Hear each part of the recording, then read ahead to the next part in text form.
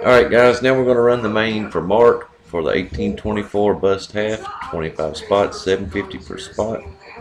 He was nice enough to bring my list down here so I didn't have to go looking for it. Copy and go live. Time is 8.54 p.m. Eastern Standard. Two dice, no snake eyes. Six times. Six times, 25 items, 854. Good luck.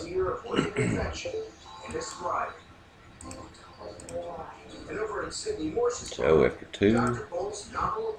Mark after three. Joe after four.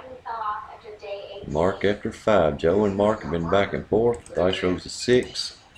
It's now 8.55. We've been five times. The one that counts. Congratulations to Mark Moat in the five spot. Congratulations. Six times, six on the dice. 8.55. Mark on top. Congrats, Mark. We're done. Send your info to the other Mark. He'll get this out to you.